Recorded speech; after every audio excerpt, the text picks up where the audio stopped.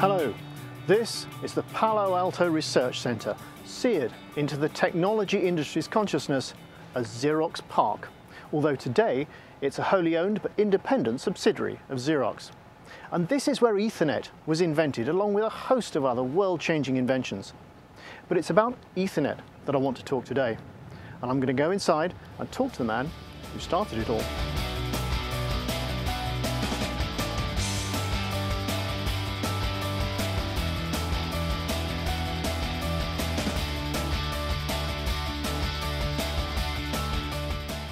We're standing very close to the spot where Bob Metcalfe first drew this diagram and sent the memo that outlined Ethernet for the very first time.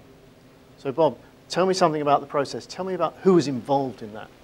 Well, that's one of the more dangerous questions associated with Ethernet innovation because hundreds of people have invented Ethernet over the years. But going back to 1973, Dave Boggs and I were the principal uh, developers, inventors of Ethernet, but we had a lot of help. So uh, listed on the patent were our two um, spiritual leaders, Butler Lampson and Chuck Thacker, who made many contributions. And then Tat Lam, uh, who actually was a contractor here at Xerox. He, he didn't work here. And he helped us develop the transceiver. He was an expert in uh, picofarads. Uh, and we had uh, uh, David Liddle, and the list goes on, and I'm sure I'm going to offend several people by stopping there. So tell me something about the network itself. How big was it? And why was it called Ethernet in the first place? So after the first, uh, you know, the first Ethernet was a one-node Ethernet, which isn't very interesting. You know, it's a node that could transmit to itself for testing and debugging purposes. And then we had two nodes, which incidentally we called Michelson and Morley, who happened to be the two physicists who disproved the existence of the ether. So we thought that was ironic. But then eventually the cable got strung all over the building.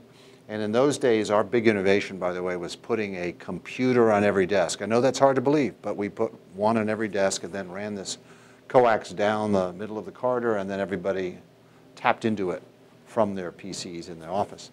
So that grew to fill this building, and then the other labs of Xerox uh, wanted similar things, so we installed them, and then the labs wanted to be connected, so we built, with an internet protocol, we built an internet that spanned uh, the research laboratories of Xerox.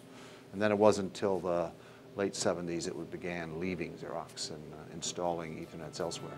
So Ethernet began in one room, spread across PARC, and within 20 years had more or less taken over the world. So what is it that's so special about this area where it all began?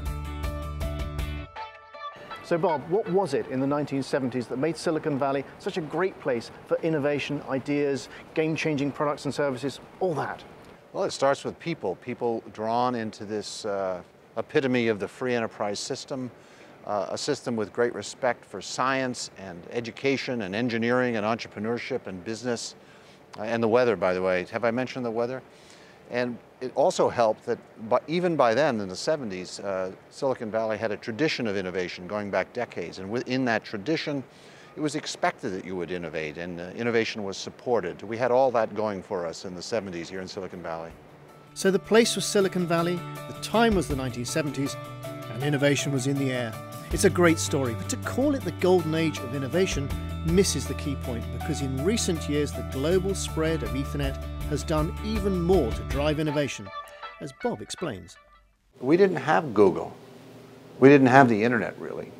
So now researchers, innovators can uh, find out in the twinkling of an eye almost all the previous work. They can find all the people working in the field. They can begin collaborating afar. So we have a, a what I would call collective intelligence that's been created through the, the connectivity of the internet, and that is, uh, that is uh, accelerating innovation. It's contributing to the continued acceleration of innovation. Now this is the 40th anniversary of Ethernet and there's a special event happening on the 22nd and 23rd of May 2013 to celebrate that and to look forward to another 40 years hopefully of innovation. You've been heavily involved in organizing that event. Can you tell me something about your part in that? We're having three events really. One is a, a day organized by PARC to uh, look at the history of the innovation process that brought Ethernet along. And then we're going to have, uh, and this will be at the Computer History Museum in Mountain View, California. And then we have a, a, an evening event, which I'm calling the Gala, which has a tour of the History Museum and an auction and awards and good food and uh, camaraderie. And then the next day we have industry briefings because it turns out the industry, now called the Ethernet industry, is a $100 billion a year industry. So we're going to take this occasion to bring uh, journalists from around the world for briefings by the participants in the Ethernet industry. One feature of the event is this special display created by the Computer History Museum, outlining the history of Ethernet from a 2.94 megabit per second network running on thick coax cable to today's high-speed Ethernet running over fibre, copper or wireless. But the focus of May's celebration was not so much on history as on innovation. Where is it taking us? How best to nurture the innovators of tomorrow? Now I've been joined by Steve Hoover, who's the CEO of PARC. Steve, thanks so much for joining us. Now this is a hotbed of innovation. Tell us something about the atmosphere here. One of the key things actually is recognizing that innovation is going to require failure. So if you can't start something and not believe that it's possible to fail, then you'll never start things that are innovative. Of course, it's not about failing. Failing's not good, but it's about learning. Because innovation is starting with an idea which you think might be true, and then proving whether it is or not. So the biggest thing about innovative culture, and that's why all the, the questioning and the why, right? It's you know, you know, it's like having a bunch of five-year-olds. Why, why, why? Is because that actually leads to really good innovations. Because people are getting to the fundamental ideas, they're questioning the status quo, they're willing to change it and break it, fail on the way, and then pick yourself up, dust yourself off, and move on to the next. Now, one of the crucial elements of that is about business and government working well together. Tell yeah. us something about that. Yeah. Government plays a really important role in this because the government actually does identify fundamental research areas to work in and is willing to invest in that. And so that partnership of government investing in core capabilities in new areas, taking some of the higher risk, and then industries really being able to capitalize and leverage that is, is really important. It is, in fact, if you look back uh, at the history of the Ethernet, um, of course, the internet prior to that, ARPANET, was a government initiated activity. And the tremendous commercial impact, you know, I don't believe would, would, would have occurred without the foresight of investing in some of those fundamental capabilities. And so today at PARC, we are working to repeat that model over and over and over again. The discussion will also look at the other key partnership, the one between business and academia. Among Bob Metcalfe's many roles, he's now Director of Innovation at Texas University, giving him a unique insight into what really motivates today's innovators. We're after freedom and prosperity, and innovation is the engine that drives that virtuous circle between freedom and prosperity. And there are many forms of innovation, and the particular kind that I'm focused on that, that came out of uh, places like Xerox, that comes out of places like Xerox PARC, is uh, one in which the the professors do research, research universities.